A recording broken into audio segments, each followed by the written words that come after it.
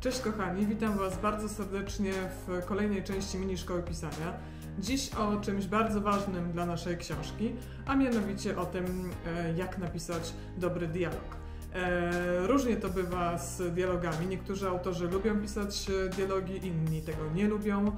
E, zobaczymy, jak odnosić się będą do tego nasi dzisiejsi goście, ale przed tym kilka słów ode mnie.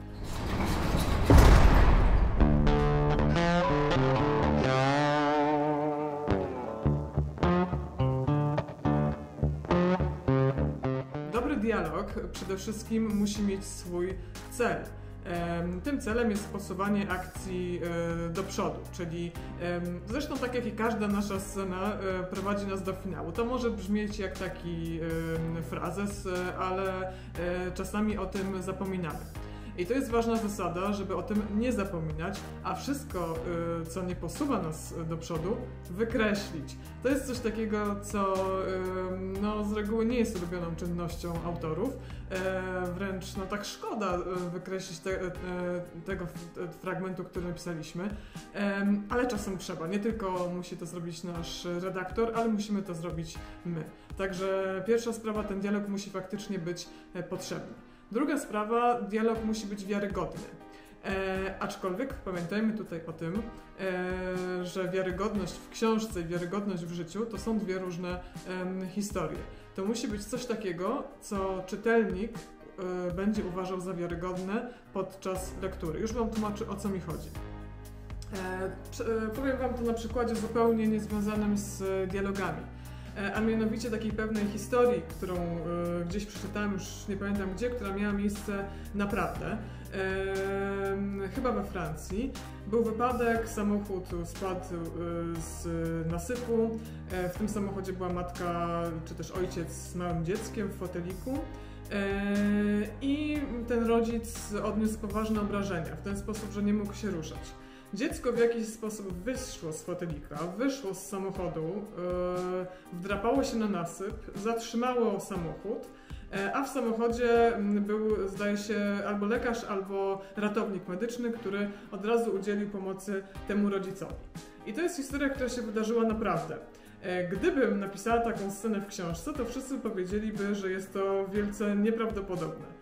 E, tak samo z dialogami. E, może nam się wydawać, że dialog jest zbliżony do rzeczywistości i fantastycznie, ale niekoniecznie e, to będzie wiarygodne w książce. Na przykład w książce niekoniecznie musimy zawrzeć tak zwany small talk, używając tutaj angielskiego, czyli taką pogawędkę na tematy różne. To zdecydowanie możemy wyciąć, a to w życiu byłoby mm, zdecydowanie na miejscu. Także wycinamy to, co jest niepotrzebne, zostawiamy tylko to, e, co posuwa naszą akcję do przodu. E, dialog może nam też posłużyć do zaprezentowania naszego bohatera. Tutaj należy pamiętać o kluczowej, podstawowej zasadzie, e, którą myślę wyznają wszyscy e, autorzy, czyli o podsłuchiwaniu. Dlatego, że bez podsłuchiwania, to tak może dziwnie brzmi i niezbyt kulturalnie, ale tak właśnie jest, bo bez podsłuchiwania nie będziemy wiedzieć, w jaki sposób ludzie mówią. Każdy z nas ma charakterystyczny sposób mówienia, charakterystyczne słownictwo i powinno być tak, że nawet jeżeli wycięlibyśmy te takie określenia, na przykład, że ktoś coś powiedział, e, na przykład e, dialog to bardzo ważna e, część książki, powiedziała Katarzyna, powinniśmy tak to napisać, żebyśmy bez tego powiedziała Katarzyna, tak czy siak wiedzieli, e, kto to powiedział. A, a, tego nie uzyskamy bez najważniejszej, najważniejszej podstawowej części pisania, według mnie i, i, mam nadzieję, że już Was zdążyłam w tych kilku filmikach do tego przekonać, a mianowicie bez budowania postaci. Tutaj Wam zostawię jak zwykle link do tej części o budowaniu postaci, bo jesteśmy w stanie stworzyć dobry dialog tylko jeżeli wiemy, kto mówi. Czyli musimy tę postać dobrze rozumieć, bo każde takie słówko, y, nasze jakieś tam typowe, y, czy jakiś sposób mówienia, czy wahania, czy drżenia głosu, to wynika też z tego, jaki, jakie doświadczenia ma dana osoba, jaki charakter ma dana osoba, więc y, bez tego ani rusz tak naprawdę. I jeszcze jedną zasadą na pewno, o której myślę będziemy również mówić w tej głównej części, czyli w mojej rozmowie z gośćmi, to jest to, żeby sprawdzić na głos, jak nasz dialog brzmi bo czasami e, o tym zapominamy, czasami się trochę wstydzimy, dlatego pisanie w samotności, przynajmniej dla mnie, e, to jest e, jedyny wybór, bo często coś tam sobie pod nosem do siebie mm, mówię. Aspirant Daniel Podgórski wpatrywał się w ciało leżące na śniegu. Dziewczyna miała zamknięte oczy i spokojną twarz. Wyglądała niemal jakby spała. Oczywiście gdyby nie krew na czole i wokół ciała. Surrealistyczne wrażenie potęgował stary koc, którym została przykryta. Zawiały jeszcze mocniej. Chyba jeszcze... Próbowałam było być zimno, nie to co mam. Pierd... akurat teraz? Normalnie pis... Że też jakiemuś... Chciało ją zajebać akurat teraz a nie jak normalny człowiek siedzieć w domu w cieple. Bo no, trudno oczekiwać, że morderca na twoje zamówienie mordował w środku sierpnia. Jeszcze taka. Wyglądam jak jakiś rusek, kur... Też dziennikarze, nie ma to nikt mi fotek. Przestań już się nad sobą szczurać. A ty przestań kopcić jak ta lokomotywa. To jest miejsce zbrodni, nie wiem, czy do ciebie to dotarło. Brakowało mi tej twojej beztroskiej luzu, Mira. Nie nazywaj mnie tak. Także to są takie um, najważniejsze według mnie um, rzeczy, żeby pamiętać, jeżeli chodzi o dialog. Będziemy o tym rozmawiać więcej z moimi gośćmi, a są to Marta Guzowska i Joanna Opiat-Bojarska, czyli dwie e, fantastyczne pisarki. Zapraszam Was serdecznie. Tam powiemy troszeczkę więcej jeszcze o zasadach pisania dobrego dialogu i podsumujemy również to, co powiedziałam.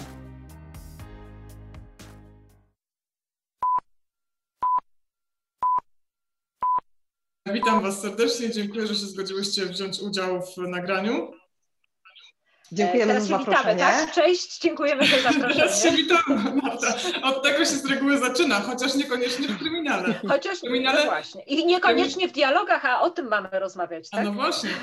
No właśnie. Masz rację, w kryminale z reguły zaczynam od trupa, czy nie? E, nie, nie, nie, nie, wcale nie. Dlaczego? Możemy zacząć od takiego klimatycznego, wiesz, tak po kingowsku, od takiego klimatycznego, sielskiego obrazu, a potem przywalić trupem na przykład. No możemy tak zrobić. E, u mnie już psy. Albo możemy zacząć właśnie, no właśnie, głos psa i jakiś dialog, tak? No więc no. właśnie. A wy w ogóle lubicie pisać dialogi, czy tak średnio? Ja kocham. Ja, ja żyję dla pisania dialogów. Właściwie e, najchętniej bym zrobiła książki z samych dialogów, ale to jest równie niestrawne jak same opisy, więc, no niestety czasem trzeba trochę takiej treściwej. U mnie niemalże tak samo. Ja po prostu najpierw jak piszę coś, w ogóle jakiekolwiek sceny powstają, to najpierw powstają dialogi e, i to mi płynie, a potem e, męczę się trochę nad tym, żeby ten dialog jakoś wiecie, wrzucić w, w tło. Czy wy też gadacie do swoich bohaterów? Bo ja na przykład gadam ze swoimi bohaterami. Ja wiem, że to brzmi trochę spuki, ale ja myślę, że większość pisarzy po jakimś czasie zaczyna gadać ze swoimi bohaterami. Ja też gadam z dialogi z nimi. Ja też gadam z nimi, ja, ja też gadam do siebie, no przyznajmy się szczerze. Czasami wiesz, to... trzeba ten dialog moim zdaniem tak trochę sprawdzić, jak on brzmi, prawda? W sensie, tak, to prawda. A z psem gadasz? Z psem, z psem? Z psami zawsze, słuchaj. Podstawa. Dobra, słuchajcie, ale przejdźmy do meritum. Naszym tematem właśnie są dialogi. I ja bym chciała od Was dzisiaj wyciągnąć Wasze sekrety. Jak napisać dobry dialog według Was? E, mogę zdradzić parę sekretów. E, jeśli chodzi o tworzenie dialogów, to na pewno jak już napiszę ten, ten dialog, to właśnie staram się go przeczytać na głos, bo to, co nam brzmi w głowie, jakby e, i przełożone jest na papier czy na komputer, e, potem jak zaczynasz czytać, to nie do końca, nie zawsze dobrze brzmi. A to dlatego, że mm, my mając tą wiedzę, dokąd scena zmierza, staramy się ten dialog jak najszybciej, jak najlepiej poprowadzić do, do końca sceny, a życie prawdziwe jest takie, że nie zawsze jest tak, że jeżeli, jak rozmawiasz z nami, to nie, nie mówimy tobie, wiesz, nie przytakujemy, dobra Kasia, idziemy do kawiarni, tylko każda z nas ma coś innego do powiedzenia i czasem musisz nas przekrzykiwać. I tak jest z dobrymi dialogami e, i też jak ja czytam dialogi e, osób debiutujących czy próbujących debiutować, to często tam jest tak, że po prostu, nie występuje kilka osób i wszystkie mówią niemalże jednorodnie tym samym językiem e, i, i zgadzają się ze wszystkimi tak nie jest w życiu, więc jakby e, każdy dialog trzeba urealnić. Po napisaniu go trzeba go, wiecie, podkręcić tak rzeczywiście, jak powinien brzmieć w prawdziwym, realnym życiu. Mhm. A ty, Marta?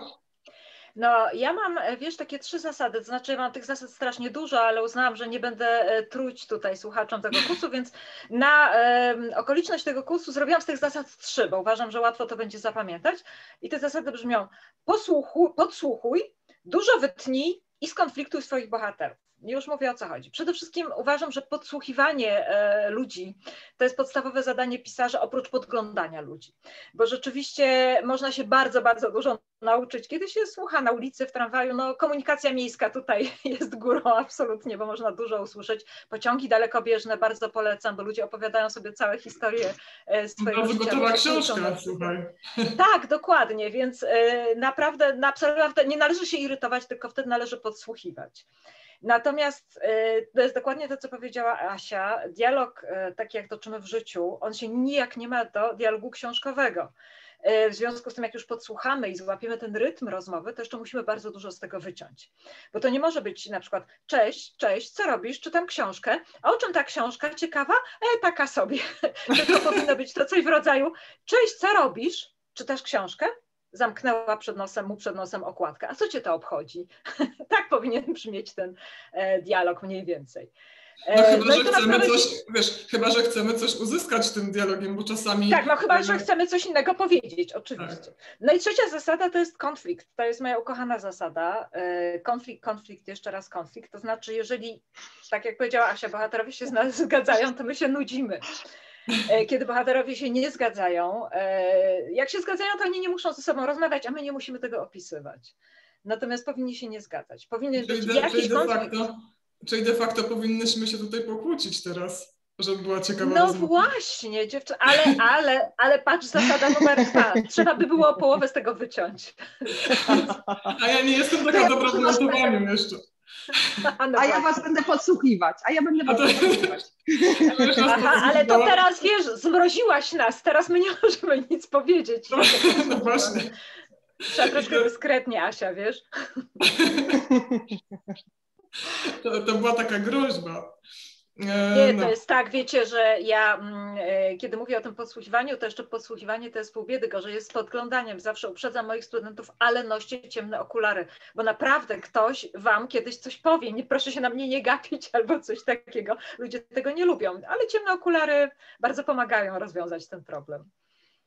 No moim zdaniem też ta zasada podsłuchiwania to jest zasada numer jeden, bo też oczywiście i to, co Asia wspomniała um, też w swojej wypowiedzi, że musimy też jakby wyczuć ten język, czyli gdybyśmy nawet nie napisali powiedzmy, nie wiem, coś tam, coś tam powiedziała Ania, to i tak powinniśmy z tego coś tam, coś tam wiedzieć, że to mówiła Ania, prawda? Oczywiście nie tak. wszystko tak. da, się, y, da się w ten sposób y, jakby wyróżnić, ale każdy z nas ma jakiś tam sposób mówienia i to podsłuchiwanie w związku z tym się tutaj przydaje, żeby, żeby po prostu wychwycić takie małe, drobne rzeczy. Ja muszę wam powiedzieć, mm, jak robiłam te książki z wywiadami z policjantami, ja w ogóle jestem takim językowym freakiem, y, że strasznie mnie interesują takie małe niuanse, mimo że nie jestem jakimś językoznawcą czy coś takiego bardziej tak hobbystycznie, no i właśnie może i też zawodowo, e, ale właśnie przepisując te rozmowy miałam okazję dopiero zauważyć takie rzeczy, które, których nawet nie wychwyciłam słuchając, że ktoś ma jakieś tam swoje powiedzonka na przykład e, i dopiero właśnie pisząc to, zapisując to widziałam, że ktoś to powtarzał wielokrotnie na przykład, a ja tego tak nie słyszałam w rozmowie, więc trzeba się czasem skupić i gdzieś tam tak słuchać, e, podsłuchiwać bardzo aktywnie. Też mi się wydaje, że trzeba mm, dużo wiedzieć na temat postaci, bo te powiedzonka są związane z, z charakterami, które mamy. Ktoś na przykład powtarza co nie, co nie po, po każdej jakby zakończonej wypowiedzi, ktoś przeklina mówiąc cholera, a ktoś inny e, soczyściej. E, jeżeli jakby e, tworzymy dialog złożony z, z właśnie chociażby z czterech osób i każda z tych osób mówi cholera, no to albo to jest paczka super przyjaciółek, które są niemalże kopiami własnymi, e, albo napisaliśmy zły dialog. Tak, ale właśnie te super przyjaciółki, super kopie się nie sprawdzają w dialogach książkowych, jak to właśnie pokazałaś. Podobnie jak na przykład w filmach nie sprawdza się grono osób w tym samym wieku ubranych na czarno, bo, bo wtedy nie wiadomo, kto jest kim, prawda? E, to jest dokładnie to samo. Więc ja też myślę, że trzeba e, naprawdę najpierw wiedzieć, kim jest twój bohater i w związku z tym, jak ma mówić, czy ma się jąkać, czy ma mówić bardzo on, on, używać trudnych słów, czy wręcz przeciwnie, ma używać slangu, e, a może nie zna dokładnie zasad gramatyki. No, wielu polityków nie zna na przykład, więc można by tutaj dać jako, jako przykład. Nie wchodźmy e... może w tematy polityczne, Marta. Nie, nie wchodźmy, no, ale tak podsłuchując, prawda, podsłuchując życie codzienne. E, więc e, tak, zgadzam się, to musimy, najpierw musimy wiedzieć, kto mówi, potem dopiero co mówi. Mhm. Jak mówię? I gdybyśmy tak na sam koniec tej naszej rozmowy, e, jeszcze raz takie podsumowanie takiej recepty na dobry dialog. Któraś z Was się pokusi o takie jedno zdanie podsumowania? No jedno? Nie, nie ma mowy. Słuchaj, nie, nie, może, nie, może być za, tak. nie może być za łatwo. Nie, ja, ja to zacznę. Marta pierwsza. Tak. E, Pierwsze, moim zdaniem, pierwsze to jest trzymaj ten dialog blisko życia, czyli właśnie podsłuchuj, obserwuj, kim są twoi bohaterowie. To jest, to jest długie zdanie, Marta. Ojejku, nie powiedziałeś, że ma być proste, powiedziałeś, że może być złożone, tak? No. To prawda. Dobra, a teraz Asia. To, to, teraz ja, to jak napiszesz dialog, to koniecznie przeczytaj go jeszcze raz i sprawdź, czy bohaterowie są różni. Tak jest, bo dialog to jest jednak coś, co się mówi, więc posłuchaj, jak to brzmi. Mhm. E, no i to, co też padło, e, e, chyba nie wiem, czy obie powiedziałyście, czy jedna z Was, wycinaj, bo mamy czasem taką tendencję, żeby za dużo, za dużo było, a to, co możemy wyciąć, to lepiej wyciąć. Ja osobiście lubię długie formy, jak wiadomo, moje książki są spore, ale też wycinam. Tak nawiasem mówiąc, wycinacie sceny, fragmenty i tak dalej potem podczas redakcji. Jak to u Was jest? Wiesz co, ja mam taką, ponieważ mnie bardzo boli serce podczas wycinania scen, ale rozumiem sens tego, więc ja mam taką metodę, która zapobiega temu bólowi serca, mianowicie zakładam sobie plik, który się nazywa śmietnik, a czasami się nazywa magazyn, jeżeli nie chcę tego tak brzydko nazywać. I tam wrzucam wszystko, co wycinam, z myślą, że może jak będę robić ostateczną redakcję, to może wykorzystam. Oczywiście nie wykorzystuję, ale wtedy nie boli serce, no bo to nie idzie do delete, tylko tam gdzieś sobie leży, nie? więc to jest, mm. polecam wszystkim tę metodę. Mm. No, ja tylko jeszcze powiem, że ja raczej nie wycinam, bo ja raczej się y, męczę, żeby dopisać to, co jest, czegoś jest tam za długo. Jestem raczej specjalistką w krótkiej formie. No, a dla mnie krótkie formy są trudniejsze, bo masz jakby mniej miejsca, żeby zawrzeć wszystko, e, więc ja wolę pisać, wiesz, 800 stron niż na przykład 5 e, stron opowiadania. E, a zresztą opowiadanie dla mnie zresztą to jest taka mini książka, więc też nie jest tak powiedziane, że tak, tak łatwo coś takiego napisać, nie? Znaczy ja przynajmniej nie, tak powiedziałabym, że, że wręcz trudno. Ale ja jestem tak. zdania też wycinaj, wycinaj, a jak nie umiesz wycinać, to zapewnij sobie współpracę bardzo dobrego redaktora. On ci wszystko wytnie i jesteś w powie dlaczego. To jest prawda. No dobrze, słuchajcie, bo, bo zrobiłyśmy dygresję co do redakcji wycinania, to też oczywiście jest ciekawy temat na, na jakąś dyskusję. Bardzo Wam serdecznie dziękuję, że wzięłyście udział i mam nadzieję, że zobaczymy się następnym razem już na żywo. Dziękujemy, cześć, do zobaczenia. Dzięki, do zobaczenia. Pokaż psy. E, wiesz co?